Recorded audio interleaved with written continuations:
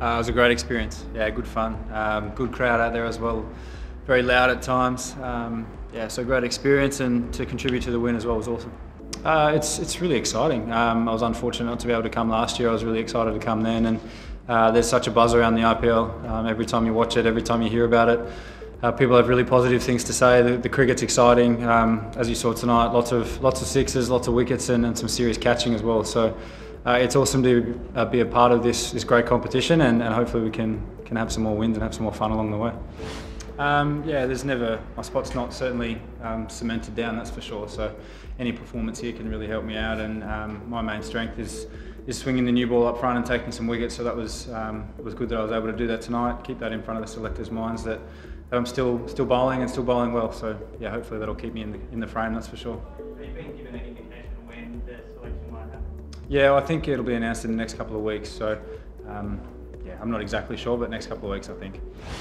it was a serious catch, wasn't it? Um, yeah, I was pretty fortunate to be fair. we we set the plan for that, knowing that he likes to back away and hit over the offside. So uh, the plan was there. Personally, I was probably a little bit wider than I would have liked, but uh, Polly took a great catch, which was yeah fantastic. Yeah, it was huge. Um, so the way the guys finished off with the bat, Hardik and Polly, just uh, put us on the front foot going into our bowling innings. Um, to end up with 170 was a really good score after we were potentially a little bit slow at the start. Um, so that was that was great. And then yeah, to take some wickets in the first couple overs, really put them on the back foot, and, and we didn't let it off from there. Uh, the main thing is length, I think, on a wicket like that. Um, so like I said before, the, the, hitting the top of the stumps was really quite effective. Some of the balls were carrying through nicely, and others just stopping a little bit in the wicket. So um, length is the key thing, um, and making sure that we have like attacking the stumps, so not giving too much width as well. Um, no, I haven't really uh, made a conscious effort of anything like that. Um, I reckon there was only a few times um, that I was bowling a bit quicker, so it's um, it's something that yeah, I've just been been working on getting back on the park, and it's nice to be playing some cricket again. Yeah, the, the bounce was good.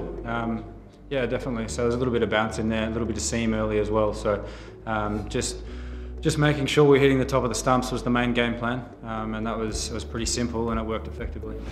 Uh, it's different. Um, both extremely good competitions. This obviously has a few more stars uh, in the competition uh, with four internationals rather than two per per team. Um, but very, very good competition here. Um, yeah, that was my first taste of it, and and you can see that guys at the back end can go big, uh, which was fortunate for us to, to happen, and uh, it's different conditions as well. Like it was really humid out there and quite warm, something that I'm I'm not quite used to. So making sure your hands are dry and all that sort of things, another little challenge, but it was really good fun.